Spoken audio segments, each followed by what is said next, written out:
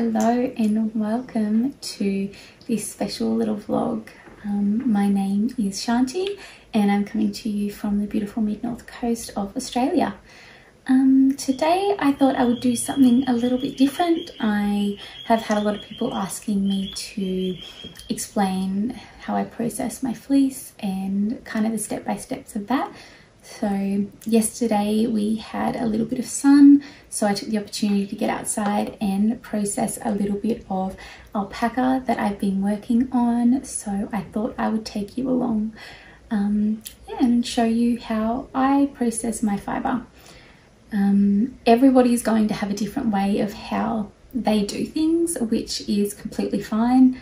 Um, everyone has access to different things and yeah, so I'm just going to show you how I find what works for me.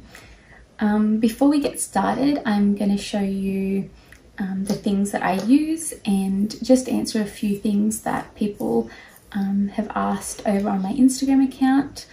Um, the biggest question I've been asked is where I source my fibre from. Um, I have mentioned in the past that we do live semi-rural. Um, we are lucky enough to have a lot of farmland um, close to us. We have a lot of friends who have animals. Um, so honestly, I've been really, really blessed. Um, I have people offering fibre to me. So I haven't really had to source a whole lot of fibre myself. Um, the alpaca that I'm working on at the moment that you'll see in this video, um, I was given by a friend who is about 20 minutes away from us so it's all come very local. Um, again I like the idea of finding local fibre. Um, a place that I have found online is um, Facebook Marketplace of all places. Uh, people are always having um, are always um, offering yeah raw fleeces um, from local to us anyway um, there is usually a lot of raw fleece um, open for sale and stuff on there. Um, but I also find that being open with what I'm doing and showing people what I'm doing, I have a lot of random people messaging me saying, hey, I heard from a friend that you're a spinner. We've just shorn our sheep or our alpacas. Um, I've had people offer Angora that they have rabbits. Um, yeah, like people are happy to pass on their fleece and their fibres to people who are going to use them. Um, they're not always usable, um, but it's really cool that people are happy to pass those on. So um, I really suggest putting it out there that you're looking for it. Maybe, yeah, Facebook buy swap sell groups, um, putting a little post out there asking for fibres. Um, yeah, um, there are a few, I feel like Tandy at one point did have some raw fibre. Don't quote me on that again. Um, so they do pop up every now and then. Another good place um, is uh, your local spinners and weavers. I'm pretty sure they are Australia wide, but whether you have one local to you, I'm not sure. I don't know where else they're based. We do have one local to us. And there are a lot of older ladies, um, lots of grandmas who get together and they all spin and yeah, it's really, really cool to see. They have a lot of connections. So um, yeah, getting in touch with your local spinners and weavers is another really good idea because yeah, a lot of these women and men have been spinning and in the fibre world for a long time so they may have connections local to you as well that they would probably be happy to pass on because I know that when Juniper and I have gone out to our spinners and weavers they're super excited to see you know the next generation of people kind of yeah still doing this craft and upholding all of that good stuff. So yeah spinners and weavers is a really good thing and Facebook. Um, just put it out there just that you're looking for fibre. Um, yeah even Instagram could be another good thing. But that's, yeah, um, I've just been really lucky to have most of it kind of fall in my lap at this point. So yes, um, before we get started and get stuck into the video, um, I just want to go over things that you will need um, to process your fiber. You will need gloves because if you're processing raw, it's dirty. These animals are out in fields and they're rolling around in mud and you just don't know what's going to be in it. So definitely get a good pair of long gloves. Um, if you're working with fiber as well, um, you can um, build up a reaction, an allergic or an allergy to things like that. So definitely gloves. Um, I've mentioned that I have sensitive skin, so I like to just make sure that there's no extra nasties kind of touching my skin. Um, another good thing is to get outside and do it. You'll see the dirt that comes out of the alpaca that I have and it re was relatively um, clean as well. There's lots of um, VM in it, which was easy to kind of pick out, but it was relatively clean, but the water was just so, so dirty. Um, so you don't want that inside your house. So trying to get outside to do that is really, really good. Um, a bucket, because you don't necessarily want all of that in your kitchen sink. Um, if you have a laundry basin would probably be a better option if you have to do it inside um, because you don't want that in where you're cooking your food. It's pretty, pretty gross. So yeah, getting outside, covering yourself with gloves, an apron as well, because as you'll see, all the dirt that comes off the fibre onto your clothes, it's not the best.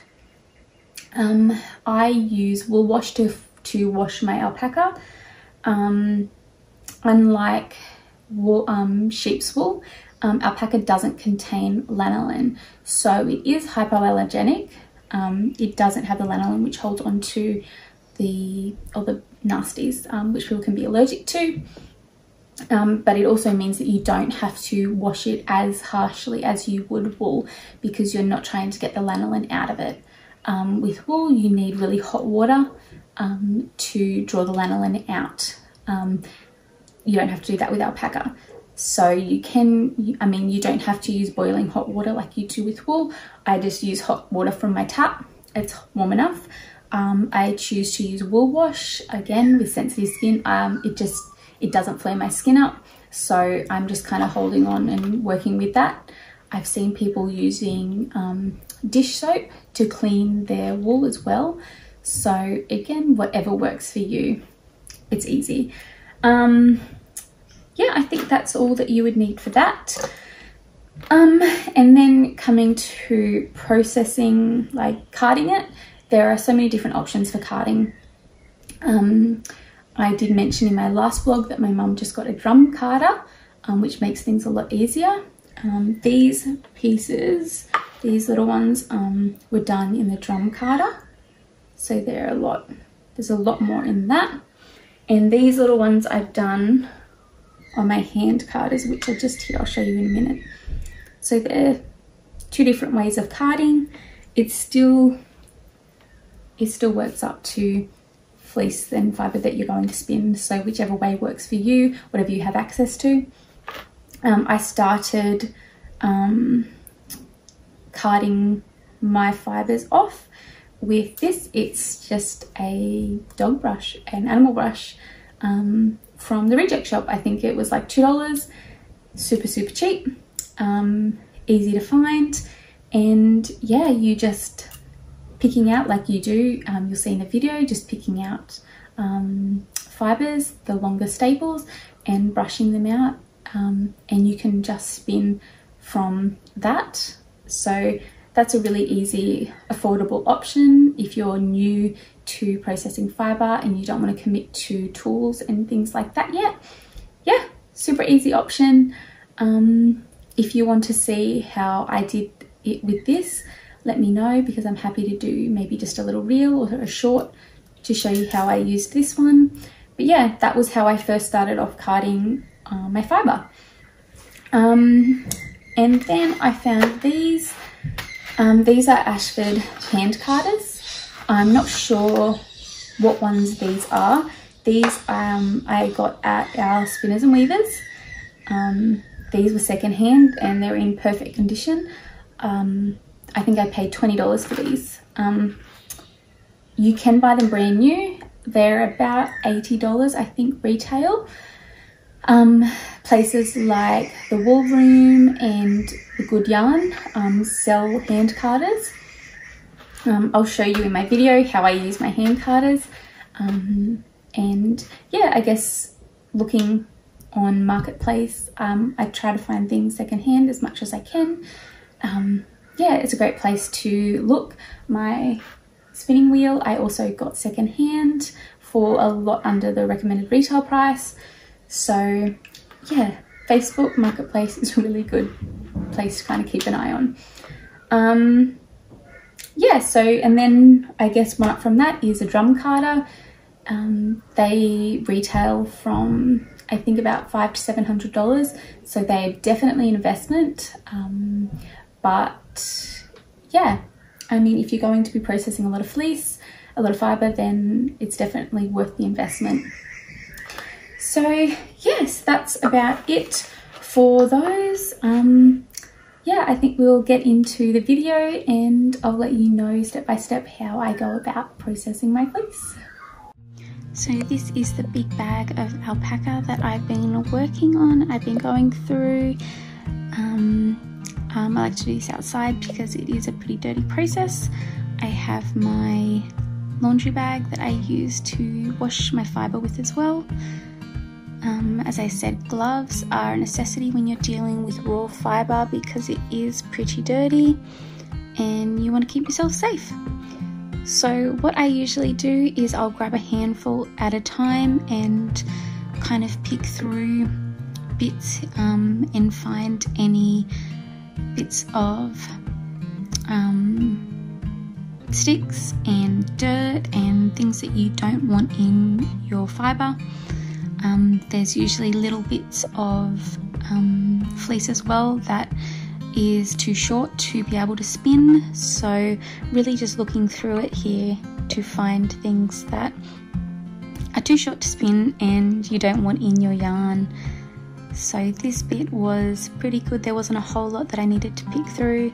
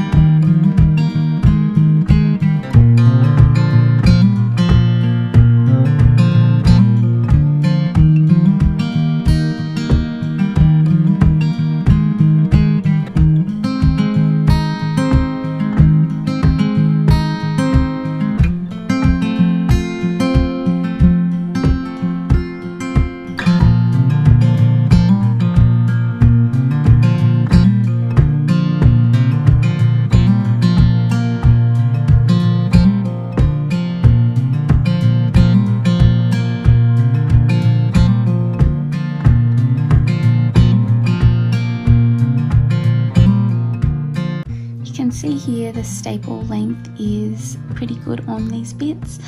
This means that it's going to be a lot easier to spin your fibre. They're pretty long. Um, if there are short bits, you can't spin it. So you're looking for longer staple lengths like these are just perfect.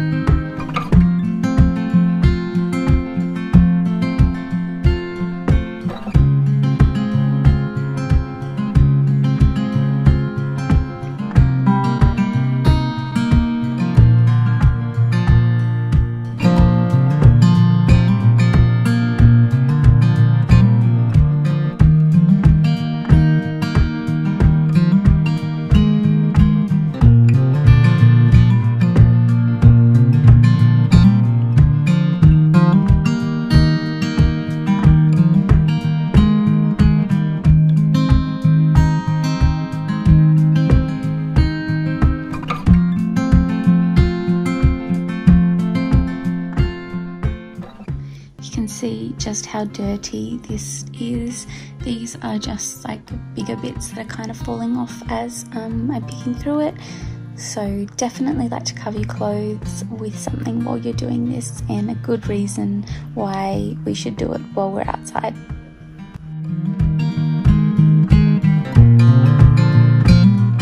So this is just a little bit with what I'll be working with today. Um, as you can see, there's quite a bit, but once you wet it, it's not going to look like a lot.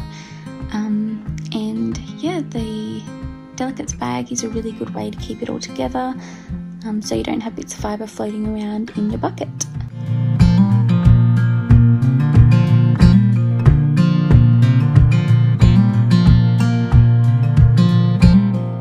This is the wool wash that I use when I'm cleaning my fibre. Um, it works well for me. Um, my skin doesn't react to it. You can also use dishwashing liquid. I've seen a lot of people using different things, so this is just showing you what I use. There wasn't a whole lot left of this, um, but you really don't need that much for such a small amount of fibre.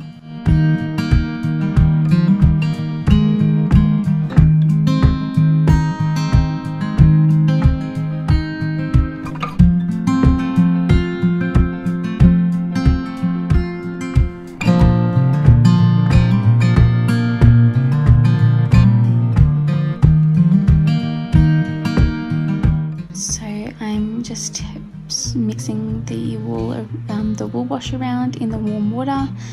You don't want to go from hot water to cold water because it will shock the fibres and it will felt.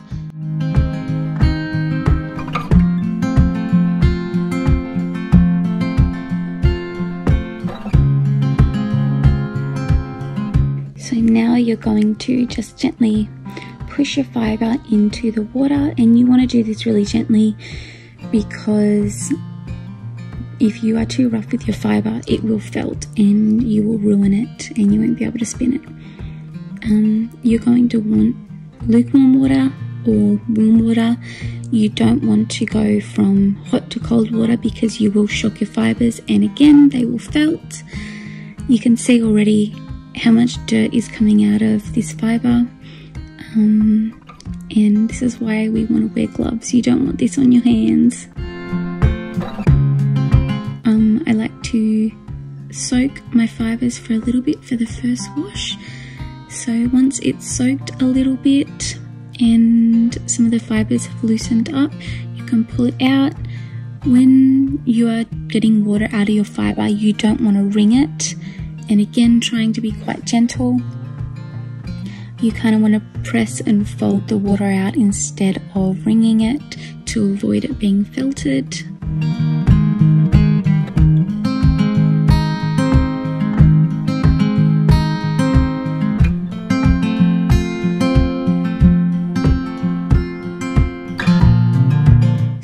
Once you've really washed that fibre and you've gotten most of the dirt out, you can press some more water out um, I like to wash mine with soap and water at least twice, maybe three times, depending how dirty your fibre is, and then just rinse with plain water and yeah, until the water is clear and then it's ready to dry.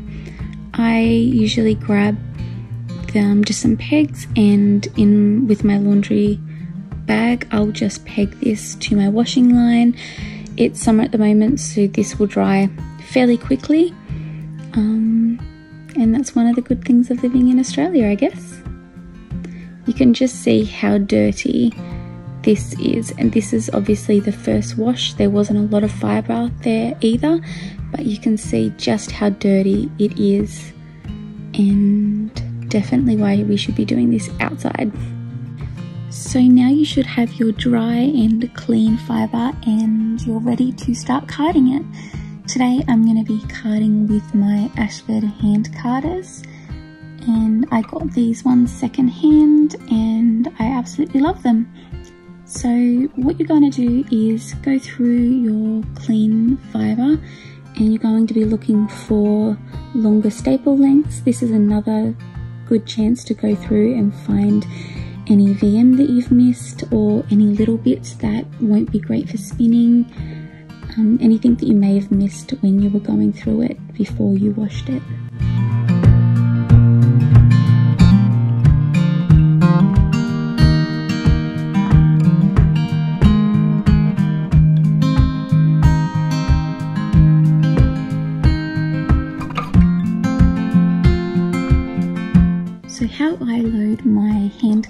Is I pick through and find again the good staple length pieces and I lay them all facing the same way and try and just comb out any tips that may have um, may have not really washed out. There may be a little bit more dust in them still that um, didn't get out with washing and pack it in like this then you go in and from the tips you pull and you are moving your hands down. You're moving the fleece from one carder to the other and it's just brushing out any bits and pieces and getting them all kind of uniformed. So you're just moving it from one to another. It's in a rocking motion. Um, you'll see in a minute the shape of the hand carders as well. Um, and they're kind of made for that rocking motion. So then we're just going to swap over and we'll do that back and forth and yeah, moving it from one hand carder to the next in that rocking motion. I'd like to do this at least twice, sometimes three times depending on what fibre I'm working with, but once you get the hang of it, you'll kind of be able to see what works for you and what you're happy with. Once that's done, we lift it up and we can pull off the carded fibre and I like to just roll these up and you can kind of just draw them from the middle like this and they are ready to be spun however you want to spin your fibre. I keep all of mine in this little basket so they're easy just to take in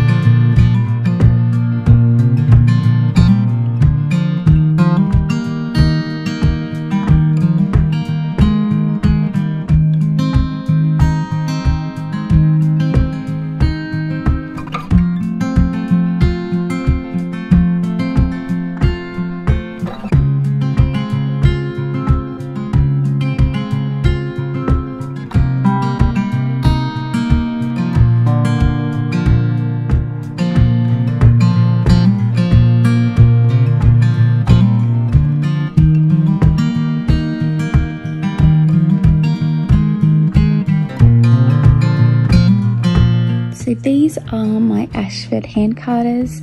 As I said, I got these second hand.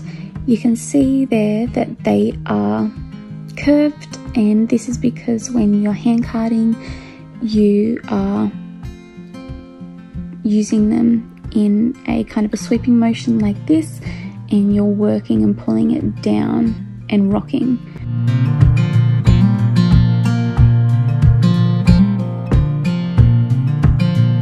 So these, when I got them, they were almost brand new and yeah, I absolutely love them. They work really, really well and makes the whole process really, really easy. So once you have all of your clean and carded fibre, you are ready to spin. You can spin however you choose to um, on a spindle or a spinning wheel, an e-spinner, however you choose. I have a Ashford Traveller that I love and I'm going to be spinning all my alpaca on this.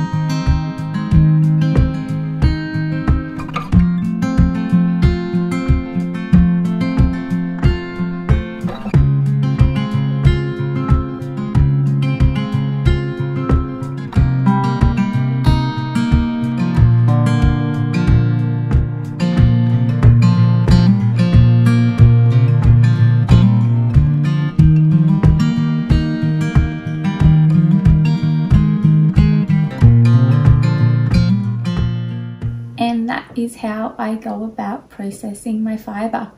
I hope that this has been easy to follow and um, it's giving you all some insight on how things are done. It's giving you some inspiration to maybe try your hand at processing some fibre. Um, and I hope I've answered all of the questions that you all have had. Um, if I haven't, please feel free to comment down below. Um, yeah, I'm more than happy to hear any tips or tricks or things that you have found have helped you when you're processing your fibre. Um, or you can find me over on the Mindful Maker um, on Instagram. I'm always um, available there as well to answer questions. Um, I will be doing another video um, more in depth of spinning the fleece. I thought that I would try and keep this as short as I possibly can. Um, so I will do a video just on spinning um, later down the track. So any questions that you have with that, um, yeah, feel free to ask and I will cover that in my next video with spinning. But yeah, thank you so much for joining me and I hope that I'll see you all again really, really soon. Bye.